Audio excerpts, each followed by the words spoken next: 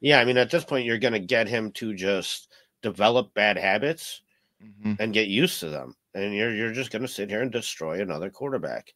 I mean, you are, and, and you know, part of the conversation of who to get as offensive coordinator during the offseason, me and David were saying, okay, well, a guy like Cliff Kingsbury's out there.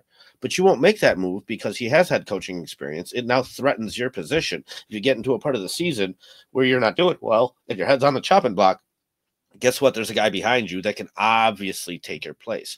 However, as a head coach, that shouldn't be your thought process or your concern. It should be let's get every damn good experienced coach in here to make this thing work and work right. The best teams, like uh, you know, you could point to the Chiefs. Andy Reid's in charge of the offense. Their defensive coordinator was a head coach. I mean, the guy's experienced. He's good. He knows what he's doing. You know what I mean? And so you just you can't sit there and let fear and desperation dictate the personnel moves you make like that. And, and yeah, I, I just it, it sucks constantly trying this like next up and coming thing, trying to make names out of guys. Meanwhile, you as a head coach aren't even established. Like you're trying to create what a coaching tree out of nowhere. Uh, meanwhile, you've done nothing yourself, and I, I don't know. It kind of drives me nuts. And at the same time, it's like we look at what the potential future candidates are, and so like the only experimental guy I would want or even entertain would be Ben Johnson just because it might be like a Kyle Shanahan situation where when he left the Falcons, he took all the success really with him because you you just saw that this guy's a good coach. But even that scares me a little bit because it's still an experimental thing. Like I would I'm so tempted to just be like, dude, just go get a guy that's that's done it. Even like a Mike Vrabel or somebody out there that, that can bring in a staff here with them. But the guy that should have been Jim Harbaugh last year. It really should have. Yeah, I I think when I look at like the coaching candidates, it's like yeah, Ben Johnson, but not I I do not want another defensive person um like cuz exactly what you talked about Paul, a lot of them you can get these like old defensive coordinators, well, that's what's going to happen to Eberflus. After he's gone, someone's going to have Eberflus as their DC for for however long and you see that like Vic Fangio right after he had his shot at head coach uh, Staley, same thing where these good defensive guys get one shot, then they're done. Then after that, um, the other thing too is like Ben Johnson. When I was going through offensive coordinators, like who could the Bears get? The thing that really stuck out to me is when you look at play calling EPA, right? What play callers give you a better chance to win?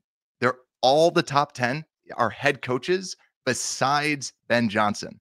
And who was like one of the only offensive coordinators that was going to get an offensive coordinator job was um I was going to say Luke Getsy was Shane Waldron because they don't become available for offensive coordinator because they go to head coaches. And so that's where like I that's where I also like the idea of of just firing them so that you know it's not going to get a you don't get a head start on anything, but it's nice for like a Ben Johnson just to be like okay, it's available it's it's there. They officially moved on. So yeah, I don't know your take, Dave. No, David, you brought that exact point up to me before. Which part? That you almost have to have an offensive guy as your head coach because right. defensive guy. Go ahead and explain always, that whole process. Yeah. Well, that's that's just kind of one of those things that I'm sure Brad understands already. In the last like ten years, that the majority of the successful NFL head coaches have to be uh, offensive play callers and or offensive coordinators because if you have a defensive minded head coach and they are incredibly successful on offense, more than likely within two to three years of their success, they're going to be poached by some other team as the new head coach for them. So then you turn into this revolving door of, well, you can leave, but don't take too much of your staff with you because we want to do some, we want to maintain some consistency here, which is unrealistic. The NFL, the new head coach is going to take most of his staff with him. And then you're stuck holding the bag with this defensive guy and hoping that you can hire a new offensive coordinator. And that's what you see with player with teams like I don't know like the Steelers for even example where you know they're they're hiring this guy and then they're firing this guy Matt Canada. Now they're hoping that Arthur Smith can have a new career revival kind of thing. And it's it works it's fine but you're never going to see anything innovative you're never going to see anything creative or revolutionary especially when you have like young quarterbacks that you can kind of pair up with them and start figuring these kind of new and interesting things out the Steelers is a good point, just because I know Tomlin typically comes up as like the morale head coach and stuff like that. But to your point, it's like, yeah, the offense has been like something that the Steelers fans have hated. It holds them back years. for years. Yeah. Yeah. And That's like the thing that holds them back. I'm curious about the Lions too. It's like everybody's like, well, we need like a Dan Campbell. It's like there's only one Dan Campbell. And also, I'm really curious to see what happens to the Lions next year without Ben Johnson because everything points to Ben Johnson being this unbelievable offensive mind. Now, there's more to being a head coach than just being an offensive mind, but I, I love the idea of him potentially being here. But yeah, it's like you can't just to bank on that would be difficult. But to your point, Paul, Harbaugh was right there for the taking. But yeah, he's too alpha. He's too aggressive for the McCaskeys. And that's kind of where even uh, Brad, even uh, uh, sorry, Brad Johnson, Brad Johnson scares me sometimes. Where he already kind of had that recent press conference quote that went viral, where he's going like, "I'm gonna go in there and I'm gonna continue to call plays," right? And that that's a good thing, I suppose but it can also be kind of a negative thing, right? Because if you're too preoccupied, then you do need to you need to pair Brad Johnson with like Robert Saleh or Mike Vrabel yeah, yeah. or somebody, and you need to be comfortable enough with having these alpha guys walk in this room, each be responsible but also respectful for their own you know situations and and their own uh, you know responsibilities and things like that. So yeah, it's that's why Brad Johnson scares me because ben you don't Johnson. know. I'm sorry, I keep seeing looking at Brad and I see Brad Johnson. Um, ben Johnson scares me because yeah, there's a very distinct possibility he could be the next Matt Nagy, where he is this offensive coordinator. I'm sorry, like you take an untal- under talented roster. One of the things that is carrying Detroit over the hump and allows Ben Johnson to do all these ridiculously cool things is because they're absurdly talented and they can do uh, you know uh, double pass reverses with linemen that have been there and established for two years. You can't bring that in and do this next year.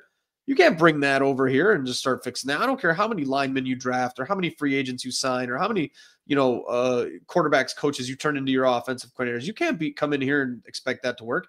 You need to have a fundamental understanding of establishing an identity of what to do with this culture, what this team's complementary football style is going to be, uh, seeing what talent you have, what things you need to change. And you can't do that overnight, even if you are Ben Johnson and you are immensely intelligent on the offensive side.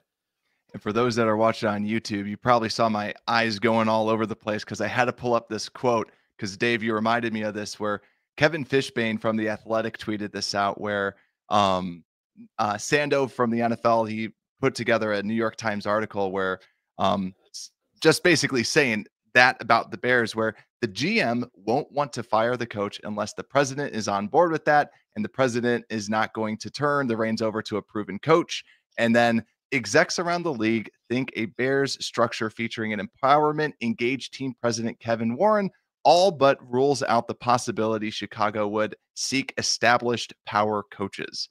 So, kind of goes to that whole thing of like, because they're saying that executives think because of Kevin Warren and just how the Bears are that they wouldn't go after one of these powerful coaches like the the dominant voices in the room but it's like yeah it you, you can't just have all these soft-spoken people. Like I always thought that Matt Eberflus looked like a preacher um that you would have where just kind of this this laid back dude but yeah it's so, it's frustrating. You know this, this is a Sorry, Polly, go ahead. Yeah, yeah. So I, I want to say one more thing about Matt Eberflus. David, I'll let you respond, and then we'll go up to the next level and talk about Ryan Poles because I like how we're actually just going through from bottom to top. And I know Dave's got a lot to say about the very top too. So with Matt Eberflus, it's interesting. You, so we kind of went back and forth on this, me and David, and I had to look it up because um, Ryan Poles was hired and then two days later he hired Matt Eberflus. However, when he was hired, he was able to interview the second round of candidates, meaning the first round of candidates had already been kind of sifted through. And those three guys were Matt Eberflus, Dan Quinn, man, I forget the last one. Uh, defense uh, coordinator, Baltimore Ravens. Uh, Mike McDaniel. No, no, Mike Michael something though. Um, no, it's a old, old older soft spoken guy. Uh, Poles head coaching interviews. Yeah. Um. So it, it's just funny because, you know, so he got to choose between those three guys, and um, and essentially picked Matt Eberflus, right? However, what the, what they were saying is Matt Eberflus, Jim Caldwell, Jim Caldwell. Oh, there yeah. you go. Matt Eberflus, and I remember at that time actually wanting Dan Quinn due to the experience. I was like, he's not the best guy out there. He's been in a Super Bowl though. Like, just get me the guy that kind of just knows what he's doing. But that's another topic, right? So, Matt Eberflus, though, I believe the Colts were about to fire him. Yep. I don't think he was about to get retained by the Colts. He's about to just be let go for anybody to be able to, you know, take him as a defensive coordinator or whatever. And here we are giving him a promotion. That sounds eerily similar to a Waldron situation, doesn't it? Pretty much. So, like, you're kind of seeing that same thing repeat. Yeah, I'm trying to remember who because I I heard that from um it's from the like I listened to the Bet the Board podcast. It's Pain Insider and uh I forgot the other the other person, but they're very plugged in people. They actually were the ones that brought up um Chris Jones like Poles calling for Chris Jones uh, during the trade deadline. But yeah, they said they had very plugged in people that in the Colts organization that were saying, yeah, Flus was going to be fired. Instead, the Bears were like, yeah, we want him as head coach. And they're like, okay, uh, yeah, here you go. Here you go. You can talk to him. So, yeah. And so that just kind of, you know, now, uh, David, did you want to speak on the coaching level anymore? Or you want to take a step um, up to the GM?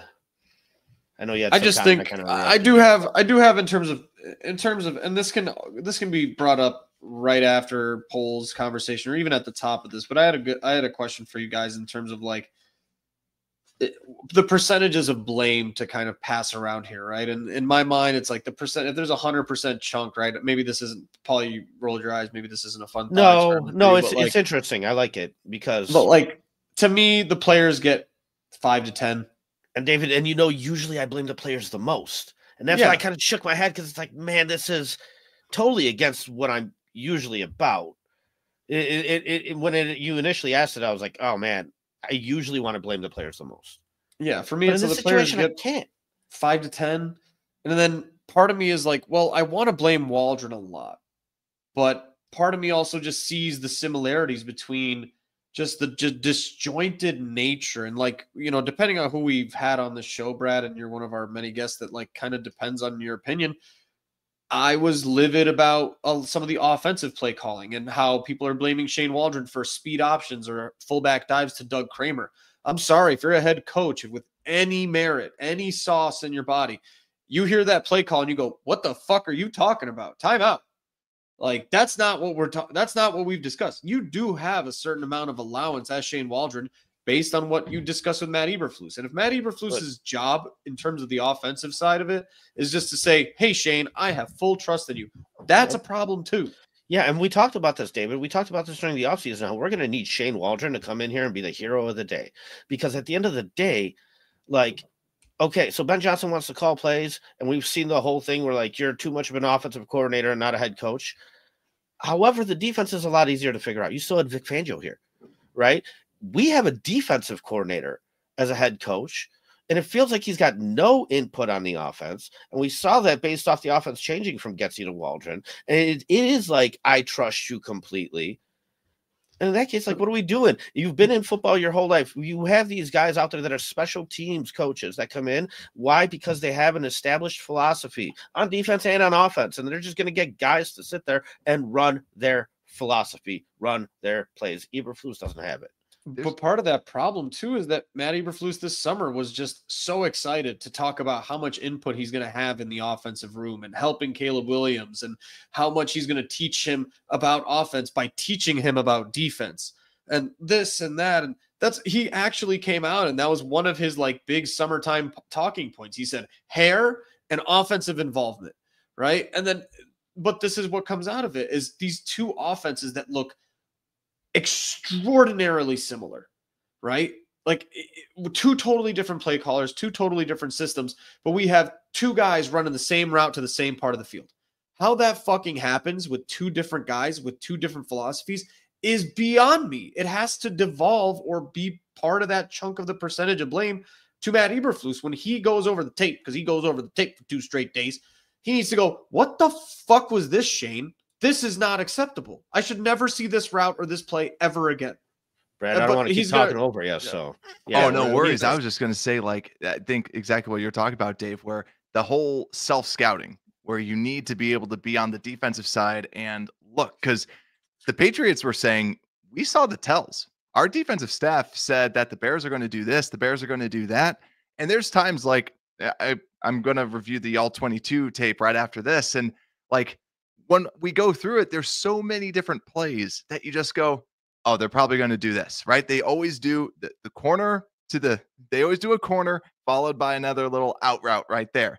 They consistently do stuff like that. And it's, it's predictable, but also there's a fine line between crazy and genius, right? It, it depends on what someone's perception is of you.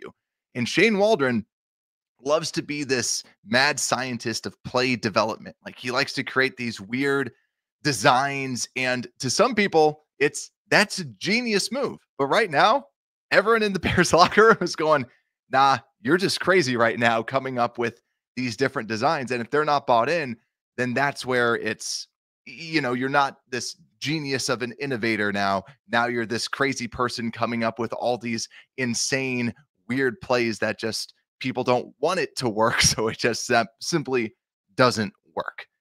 But I think Brad kind of like he literally mid sentence I had this epiphanal moment of like why does not only this offense not work it's why are all the players so demotivated running routes because and I saw this on Twitter yesterday too where there's no purpose behind his play calling. There's none. There's no identity to it. That's a given, but there's no purpose behind it. We're not setting something up to set the next thing up. We're not doing something to create something else it's just literally, I think it's like he hit like Madden shoes, flipped through a few pages and just said, fuck it, let's run that one.